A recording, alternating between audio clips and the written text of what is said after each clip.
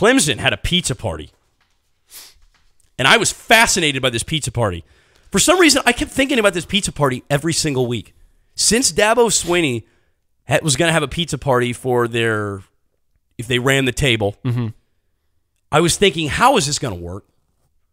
How are they going to get a pizza in that many people's mouths? How is that going to work? Who's paying for that bill? Okay, first of all, was it for the? It was for the entire campus. Well, yeah, they, but Was the it? deal was that they were going to have a college football selection party Mm-hmm. after they ran the table, and there was going to be pizza for everybody. That's what was promised. Whoever came. Yeah, whoever showed up, there was going to be pizza for everybody. You show up, pizza party. Okay. You with that? Well, according to ESPN, there were 25,000 people in attendance at Death Valley, and there were 2,500 pizzas were provided by 10 different Papa John's locations. That doesn't sound like enough. That's about $35,000, $475 worth of pizza. All right. Well, if you do the math on that, that's about one slice of pizza because there's because the pizza's cut into 10 slices. Okay. That's about one slice of pizza per person. That's not much of a pizza party. That's not a pizza party at all. That's that's that's like that's a pizza appetizer. I knew it was going to be like this. I knew there was not going to be a bunch of leftover pizza. I knew it was going to be screwed, and I knew that it was going to be cheap.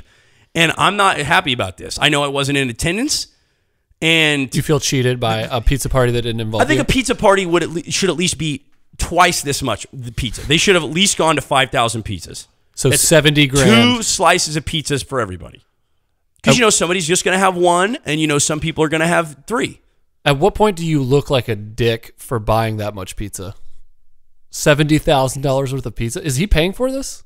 Surely not. I, I you got to think. I guess it was donated by the locations. well, you, you, I doubted that. That's thirty five thousand dollars. I doubt that they did that. Dude, the Papa, he's got deep pockets. Oh, oh, Papa, he's probably he probably made some phone calls. He probably did a couple of half court shots at the next game. He's just happy to be there. There's had to have been some sort of a discount. There's no way that Dabo Swinney di- di- dipped into his pocketbook and wrote a thirty five thousand dollar check. But he should have wrote a seventy thousand dollar check because that pizza party sucked, and I knew it would.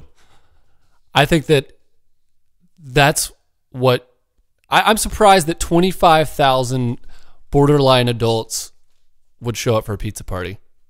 It, it was probably wasn't because of the pizza, right? They just wanted to celebrate the fact Well, yeah, I that the mean, it's like, hey, let's watch the party. It- Well, you know, we just we just come off that big win in the ACC championship game. You know, it's let's show up at the stadium. It's going to be a thing. I, I get that, Because the amount of work you would probably take to get one of those slices was probably not worth it at all. but if you would have had two, it would have been way worth it. Would it?